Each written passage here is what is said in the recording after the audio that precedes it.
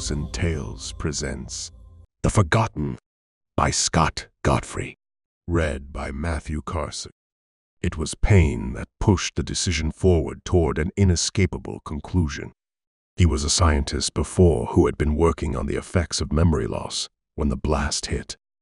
Outside in the street, the explosion ripped fire through cars, a portion of the stone buildings to every side as well, and he had rushed out to help, only to find his wife dead.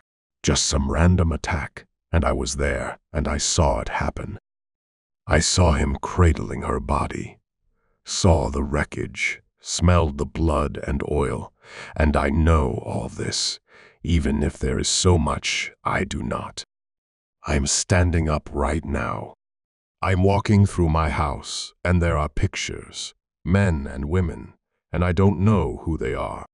There are names scrawled, but I can't read them, and outside the sun is shining, and the people are gathered, and the house is warm, and I am watching this movie play out because I was there and I had the presence of mind to record it.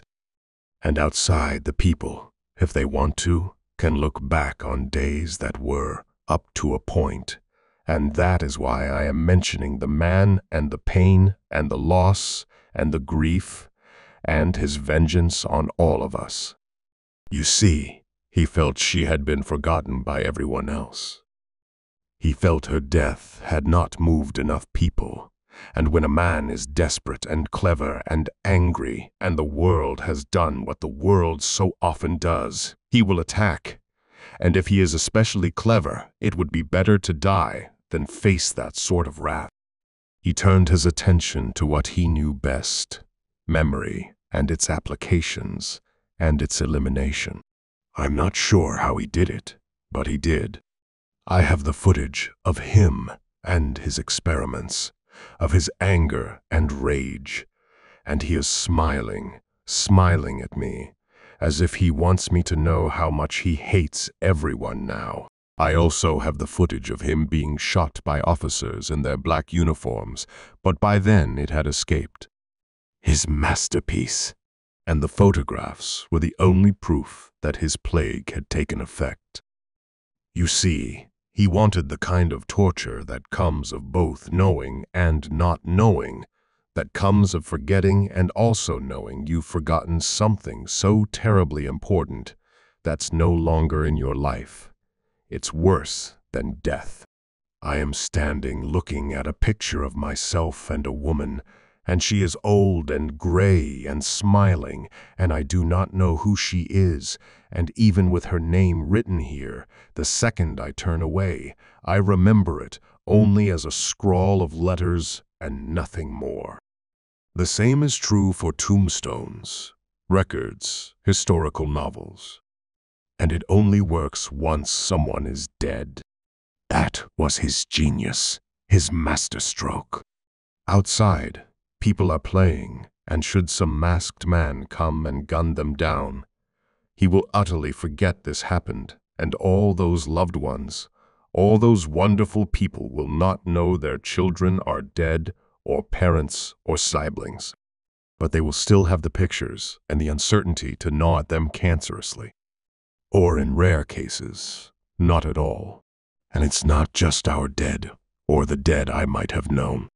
Religious books and historical novels are edited for content, and we can see the churches, the mosques, synagogues, the debris of countless faiths, but names escape us all. The details are smudged out of existence, and yet he left the words expressing the thought that if only you believed in this being or that being's words, you would be saved. But we can't remember who these beings were, being dead. And as for other works, novels, plays, oh, we have all them but the details of the men and women who wrote them, even their names. Of this we have no memory, nor when they were ever created, nor their appearances, nor the ages in which they lived. We cannot tell if our entire history is a day or a thousand years or a billion years, for every detail of the dead escapes into unbeing the moment we look away from it. We simply can't tell anymore how vast and old and young the world truly is. He tore the greater swath of our existence away and left those clues dangling just out of reach because his wife died, and he felt no one remembered her. I'm sure if I could remember his face or his name, I would be angry at him.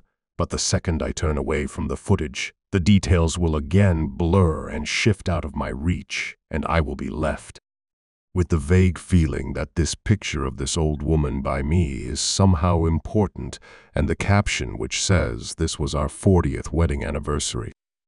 I let the picture drop and I turn away. The end.